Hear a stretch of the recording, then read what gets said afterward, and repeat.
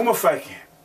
Before I get into the meat of this video, I want to uh, thank everyone for their contributions. Um, some of you, you know, every little bit helped, but some of you contributed as much as like a hundred bucks. And when I, you know, when I saw, you know, some some of those contributions, and again, even a dollar helped. But when I saw how deep some of you dug into your pockets, uh, I was, you know, I was just overwhelmed, as was uh, my wife, Nasiba T. Hill. So I want to thank all of you from the bottom of my heart for your contributions. I want to tell you that at least we got at least 30 pairs of MMA gloves and mouthpieces. We got several books, GED books, for for some of the uh, the former felons who who were trying to get into uh, better programs, uh, more uh, into apprenticeships in count in county colleges. Um, uh, what else? I'm not going to send out. I am not going to send out a a group email thanking you guys. I'm not going to do that. All right, guys and gals, maybe. You know, I I, I don't know, but mostly guys, right? Uh, I'm not going to send out a group email. I don't think that's the thing to do. I'm going to contact all of you separately, right? Personally, and address you personally. All right, those of you whose monikers I remember, I'm going to address you by different comments that you made and things of that nature. And I think that's only fitting. So I thank you. I also want to say none of your contributions go into our pockets. All right, many of these people we teach for free. The people studying for their GED, I teach for free, as do the other my four my other my four partners. Um, the people who's the kids whose MMA gloves we got and mouthpieces we got, most of them I teach for free. At the very most, their parents pay maybe 30 bucks a month. And that's if they have it. If they don't have it, what am I going to do? Tell the kid he can't train? Ain't going to happen, right? So I thank you. God bless you all. Even if you don't believe in God, yeah, hopefully he'll throw you something, throw something your way also. All right? Um, now, there are people who have asked me what what fighters do I study? Okay, what boxers do I study? Uh, the comment went something like this: uh, "Safe," and I'm paraphrasing here. Uh, "Safe, I know you are a student, long-time student of boxing." He did say that. Um, can you tell me what fighters you personally have studied in your time? Right? Okay. Let me say this for a lot of the young guys studying fighters today, I want to say this. Most of what you are doing is you are studying fighters that you like and not studying fighters that you have something in common with when it comes down to your boxing style or your personality. All right? People that I have studied are different than people that I liked as people. I'm going to give you an example. And this example may surprise a lot of you. From the time I was about 11 to the time I was 17, I was close to average height, close to average weight for my height. Okay? Um, I didn't have to look up at a lot of people in the ring.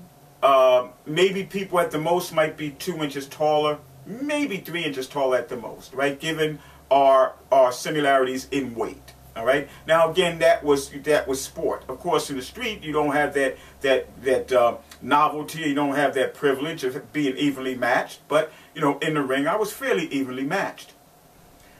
When I was 18 or so, I became a subcontractor, made good money. I left the gym. Okay, knew I wasn't going to turn pro. Left the gym. I missed the gym wars. Came back when I was about uh, 20 all right, left when I was 18, came back when I was about 20. Right? Now, when I came back, I wasn't fat, but I no longer had to cut weight. I no longer had to worry about my weight. So now, when I returned to the gym, I was 5'7", and I weighed about 175, between 175 and 180 pounds of muscle. Okay. Now I have to change my style. Why? Because from 11 to around 17, I'm boxing similar to uh, Danny Garcia. Okay? Uh, very basic, um, not exceptionally fast, a high guard, waiting for people to make mistakes. Heavy-handed. Yeah? Heavy-handed. If I caught you, I hurt you. All right? But very basic. Not the best style for fighting tall people. When I get back to the gym, I'm five foot seven and I'm a cruiserweight, light heavyweight cruiserweight. The trainer is not going to let me spar on a regular basis with people who are 147 pounds, 154 pounds, even though they're, some of them are even taller than I am. I have to spar on a regular basis. When people are available, I have to spar light heavyweights and cruiserweights. These guys are 6'1", these guys are 6'2". The first time I get in the ring with a guy that's a cruiserweight, he's a winner of the novice Golden Gloves, he makes it to the finals uh, in the open class Golden Gloves. The guy can punch. He's 6'1", all solid muscle. 190 pounds, solid muscle. Okay? I'm 5'7", 180, solid, but I'm 5'7". I'm trying to box him in my standard position. Now, I have a decent defense, but I can't get inside my offense is going. Why? Because boxing in this way was not conducive to fighting someone that was that much taller than myself.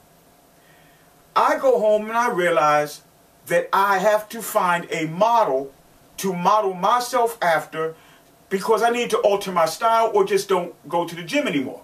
I was just, I was just, I wasn't taking a great deal of punishment because I had a defense, but I couldn't get my offense off. Muhammad Ali at that time was my favorite fighter. My favorite fighter, by far. But I couldn't study Muhammad Ali. I couldn't study Muhammad Ali because Muhammad Ali, through his whole career, was either above of above average height for a heavyweight or average height for a heavyweight. When he retired, he was still average height for a heavyweight. He was not small for a heavyweight by any stretch of the imagination. I could not study him. So I had to figure out who I could study. This is before James Toney. This is before a great deal of fighters.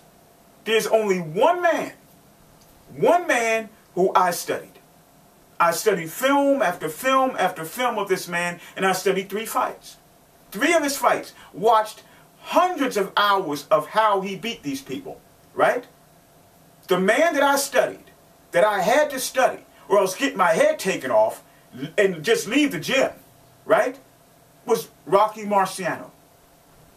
Rocky Marciano is the only fighter at that time that I actually could look at and learn enough from to alter my style.